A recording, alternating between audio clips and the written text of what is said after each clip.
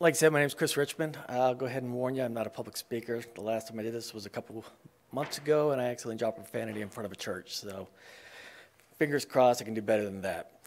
Um, as you said, I'm a custom mapping specialist with uh, USGS, and with that, I kind of get the projects that come into USGS that don't really fit one of our standard products, like our US Topo or things like that. Sometimes that's a request from a politician, uh, you know, to pretty, pretty picture of their state or their district. Uh, in other instances, like the project I'm going to talk to you today about, which is the Arctic Regional Policy Act uh, uh, project, it's a area, it's the a region in the uh, in the Arctic that they, they wanted to highlight the uh, indigenous community, well, the communities there, and that's some other inf- information and build on a previous project.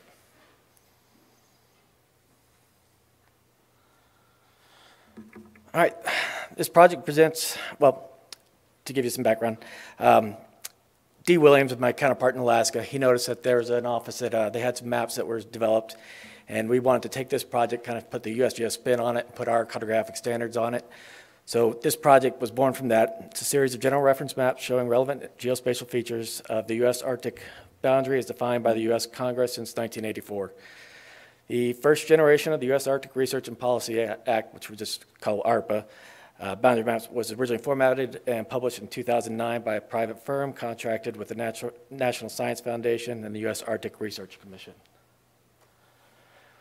Um, and D, the reason he kind of thought about taking this project on was he recognized that right now there's a you know, the steadily increasing relevance of the Arctic issues to national and global affairs that require more functional projections and online tools. Um, and the USGS Alaska Regional Office uh, and my office at NGTOC um, developed the, uh, basically took those three maps and we decided to refresh them with uh, more up-to-date uh, information. Now I'm just going to go off of the presentation just so that these, I can display, display these maps. And Hope that translates well. All right, so the first three maps we're going to discuss are basically rehashes of their existing maps. Uh, like I said, the ones that we took, they were kind of basic, didn't have a whole lot to it, but they, were, they still they did their intended purpose, but they were out of date. So this first map shows the ARPA boundary as it relates to Alaska and the marine features of the Bering Sea. This map features the continuous ARPA boundary as it relates specifically to Alaska, the Russia coast, or Russian coast, and the selected marine features of the Bering Sea. It highlights the ARPA boundary areas that dip south from the Arctic Circle in northwestern Alaska after intersecting with the Porcupine River to follow the course of the Yukon River, then continues along the Kuskokwim River, and I'll go ahead and apologize if I butcher these uh, names, uh, in southwestern Alaska.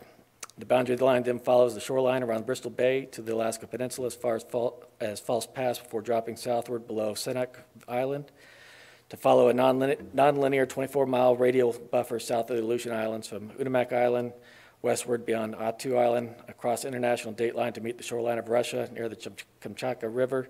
Then the boundary follows the Russian coast north to where it hits the, uh, comes back in touch with the uh, Arctic Circle. Uh, and in these maps, in just the top left, we have a little inset to show that this is just a small piece of ARPA, and this just kind of just show just a kind of an extent of this individual map. And I know that was map sheet one. I'm jumping to map sheet three, but it's just the way they had them published. They should have had them ordered. This should have been map sheet two because it's just the second on that individual one. Uh, this is the same base map, but just a different theme to it. This is more. Um, uh, map sheet three replicates the first map that we just saw, uh, but within that international context, it explicitly delineates the full extent of Arctic ter territorial land and waters claimed by the United States. Because the ARPA boundary was established by Congress to define the Arctic for U.S. operations and science administration purposes, this map series includes a sheet that explicitly delineates the extent of the U.S. Arctic territorial claims and maritime limits. Uh, and including the territorial seas, out, which goes out 12 nautical miles, the contigu contiguous zone, uh, which is out 24 nautical miles, in the U.S. exclusive economic zones, out 200 nautical miles, plus maritime boundaries with adjacent or opposite countries.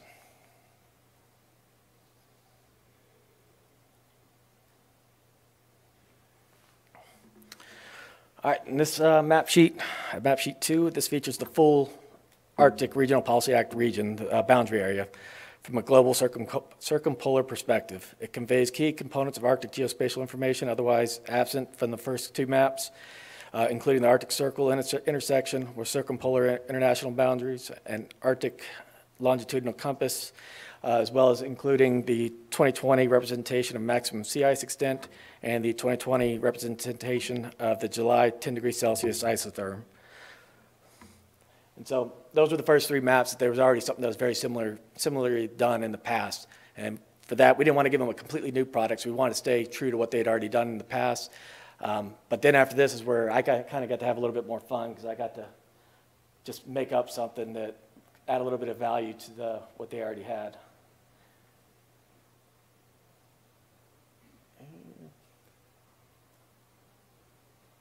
Okay. And on screen, it doesn't really do it justice. I, this, when I originally wanted to do this, I just wanted to have this in the map gallery, but uh, uh, my bosses thought it'd be better that I present it. But this is the map where I uh, was kind of given some free reign to run, being a custom mapping specialist. I said, hey, why don't you develop something that provides a little bit more than just the boundaries and things like that. We want to know more about the terrestrial features of, of Alaska. So in this map, you have land cover uh, within the ARPA region, and this one is only focused on the mainland. It's hard to do this all in one map for the Aleutian Islands as well as the mainland and not and maintain some level of detail. Um, yeah. So they in here you have the ARPA boundary as it relates to terrestrial features of mainland Arctic Alaska north and west of the Yukon and Kuskokwim rivers. The, the sheet conveys key components of Arctic geospatial information that wasn't present, present in the previous maps that were made in uh, 2009. Uh, that includes things like the city-village locations, relative popula uh, population of these villages that fall within the Arctic, uh, land cover, tree line extent, uh, juxtaposed with the ARPA boundary, the Arctic Circle, uh, and then national parks, there's just a lot more information here that just wasn't available before. Uh, and with this, unlike the previous maps that were, you know, little uh, eight and a half by 11s, this is now, a, or I guess the ones we made were 11 by 17, but this one is a larger poster, size, poster size uh, product so that they can get a lot more information. So when we completed those first four maps, uh, we went to our end users, gave them about four or five months to kind of digest them, see, have any suggestions. They loved everything in it, but they did want something focused on the Aleutians. So that was kind of a task for us because on the one hand, we didn't want to just have a map of the Aleutian Islands because maybe somebody's not familiar with Alaska, so they, they may not be able to put the two, one and two together. So with this map, we still showed mainland Alaska, but it's at a scale that we can see the entire state. But I was able to leave enough room that we could put in insets for each of the Aleutian Islands. It's basically all the same information, but one other thing they did want because of the Aleutians, they wanted a, a uh, I'm sorry, volcanoes added to the uh, um, to the data frames. Um, and the reason we did it this way is each of those data frames, insets, they kind of follow the path of the Aleutians, and they're all done at one million scale. So when they're looking at it, they're not looking at multiple scales, and, but they're getting more detail in the Aleutians and, and still seeing it in relation to the mainland of Alaska. Now, in doing these maps, um, we realized from the beginning a static map is awesome, but at the same time, a lot of people want something a little bit more interactive. So phase one were these maps that we've already delivered, and now we're in the process. Uh, I've been working, our office doesn't have the capability uh, to maintain it, but we're working with the USGS Wisconsin Water Center. They have folks that can do web app development far, far better than I. And what we're doing is taking all this information from all these maps and putting it into a web app.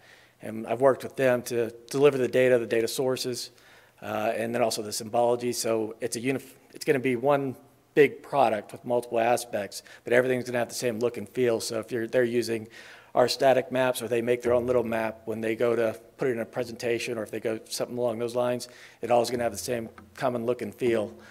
Um, um, but again, that's, uh, that's right now, I've, we did our, we're probably about 80% done with that web application, so that'll probably be ready in the next few months. Um, and all these maps are available on the US, USGS publication site. Um, Unless anybody has any questions, my presentation was pretty short. Yes? Oh. Where did you get the 2020 uh, maximum sea ice? Ah, give me a second. I've got it all cataloged. Let me see if I can quickly find it.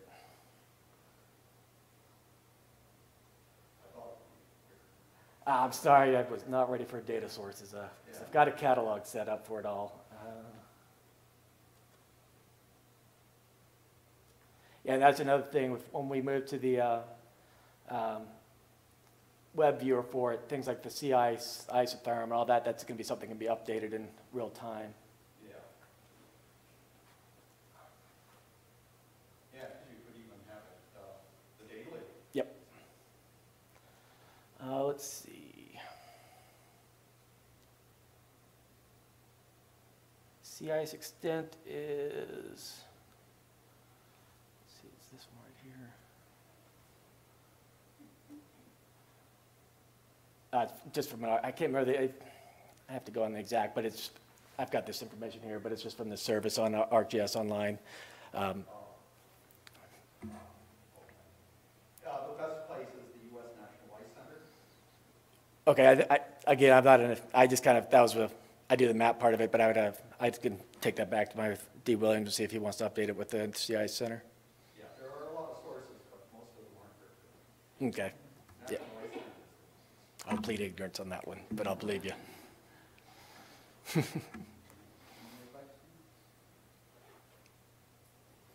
All right, made it through without profanities, all right.